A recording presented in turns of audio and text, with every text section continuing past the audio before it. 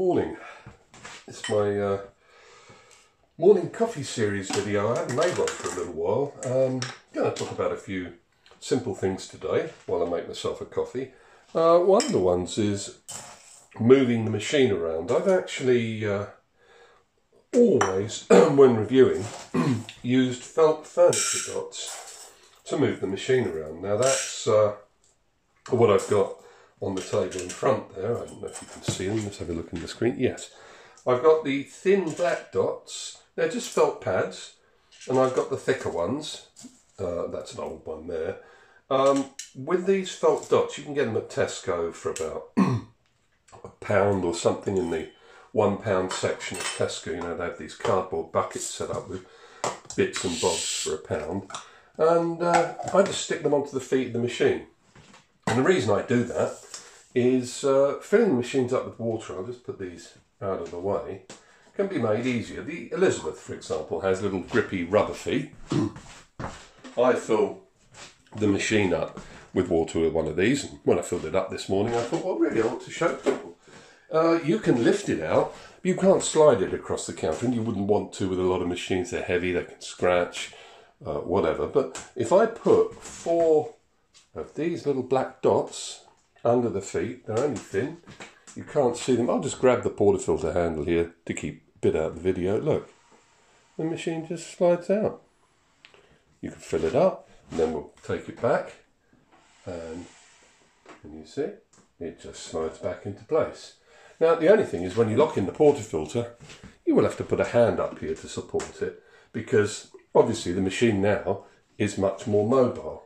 But I'd rather have that where I can slide it in and out to fill it up. And these felt dots will work on even very, very heavy machines. Um, so it's a good tip. Uh, it costs virtually nothing and it makes the machine much easier to live with. Now, while that's grinding, I keep being asked about these scales. And I get, I must get three or four messages a week about where they can buy these scales. These were made by Smart Weigh and they haven't been made for a couple of years now.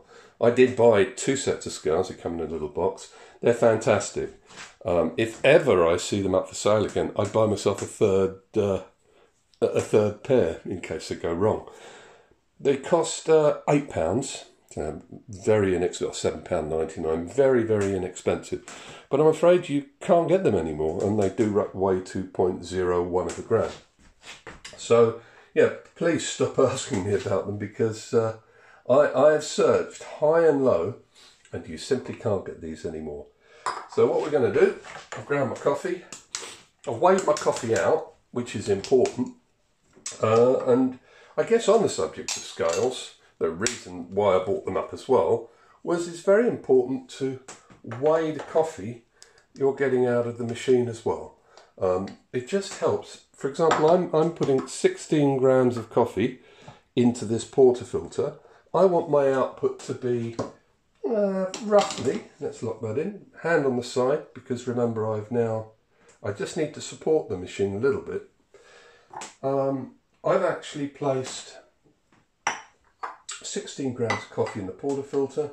I'd be looking for 30 to 32 grams out. Uh, for, this is a Burundi I'm using here. And there's my cat wanting to get in. So let's just hit that shot. I've got a timer set, I think, but I'm not too worried about that. Um, hopefully it will get the time about right. I haven't checked the grind today, but I assume it's okay. I'm going to let this cat in. And this is not about the shop, this is uh, more about the felt feet and these scales.